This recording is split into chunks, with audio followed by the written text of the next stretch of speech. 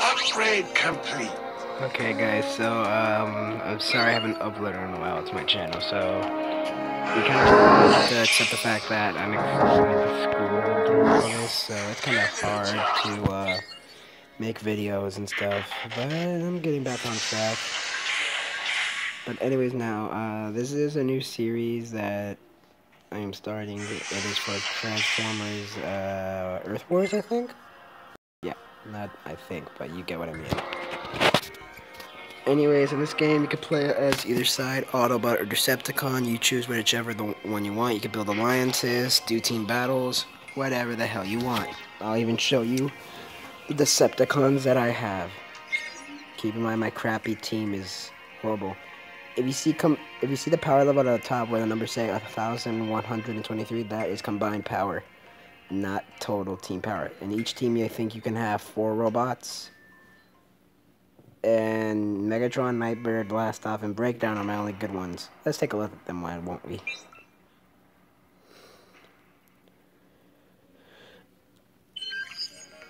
Alright, this is Megatron.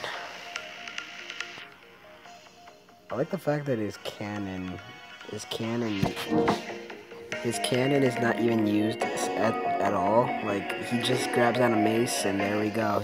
He just starts fighting. It'd be more practical if he used it, but he doesn't care.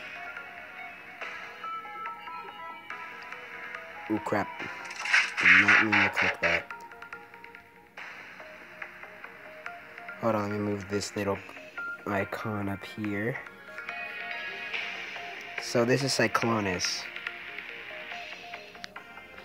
He is an air type poke not Pokemon. Fuck, why did I say that? Ah, uh, you'll get what I mean. He's an air type um, of Transformer. Let's see him transform. Sadly, I don't know what this kind of plane is. Oh, I know who this is. This is Thundercracker. He looked so different from like the uh, from the games on Xbox where they were on um, War for Cybertron. Because he looks a lot more like Starscream. Alright, next one is Tantrum. He turns into a bull. I don't get why he chose that. Chose to become a bull. That's all I know he became. But whatever. Oh, and this is Bone Crusher. I think he's one of the... I'm pretty sure in the... At some point he was a Combaticon or something. But who knows? Oh, he's a Constructicon. Never mind. He fights, but he does construction. I think he does this alongside Hook. Oh yeah, this is Swindle. I think in the TV series, for the anime series, he was a uh, arms dealer. Yeah, he was. And that on his chest right there, where he has his insignia for the Decepticons, carries a pocket dimension where he has all his valuable items. Oh, this is Viper. I don't think anybody's heard of him. If you have, please leave me some information. So, yeah, that's Viper. He turns into an A10.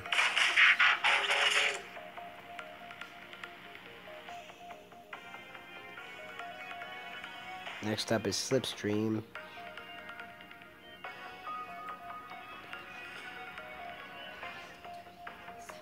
So, uh, not much I said about Slipstream. I was talking to my sister there, so that's why you, you didn't hear me for a minute.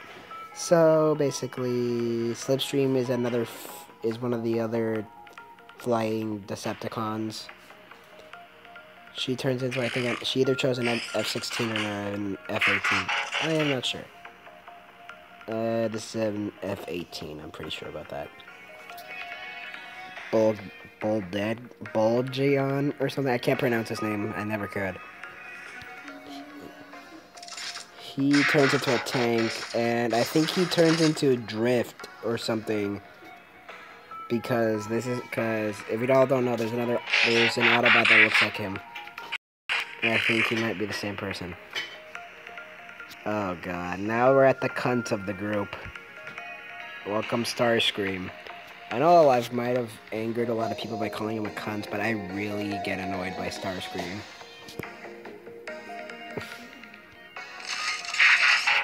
so he turns into an F-16. No doubt about that. Oh, this is Hook. He's a healer, but dear God, his damage rate is not too good. He does turn. You'll see why he's called Hook. Get it? That's why he's called Hook. Look at the front part of his fucking thing. But anyways, I'm sorry if I have to make cut this short. I think I can only make up to five or six minute long videos. So yeah, I'm gonna have to keep going from on another video. But I'll see you guys in the next one.